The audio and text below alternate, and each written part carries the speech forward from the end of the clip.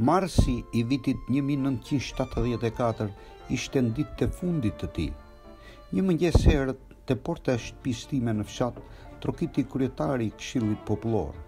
E ftova brenda për kafe, po s'erdhi. Më tha se nxitonte, kishte punë.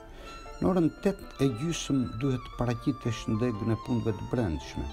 Nuk di pse të kërkojnë, por më thanë të të njoftoj. Këto ishin fjalët e tij, pastaj u largua. Unë kisha dy djem të dënuar me burgime të gjata për agjitacion e propagandë. Çdo ditë e jetoja me frikën e së nesërmes. Nxitova të vishem dhe dola në qendër.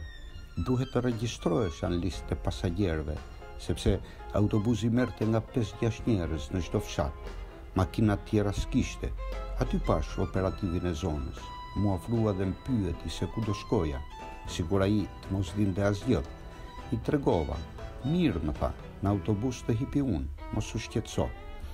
Kur zbrita në qytet, u nisa menjëherë në rrugën që të shpinte te dega e punëve të brendshme, afër agjencisë së autobusëve dhe udhëtarëve. Operativi më ndiqte nga mbrapa. Më shoqëruan në zyrën e kryetarit të degës. Ai më tha se duhet niseshim për në Tiranë, sepse kishim një takim të rëndësishëm. Pas disa orë udhëtimi me Aron e tij, mbërritëm para Ministrisë së Punëve të Brendshme. Isha i hutuar.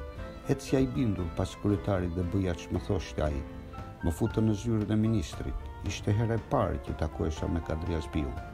Më ftoi të ulem dhe më zgjati një cigare. Ti je prind dhe duhet t'i ndihmosh fëmijët, kështu e filloi bisedën. Po unë s'kam gjë në dorë, i thashë. Mos u nxito, më tha.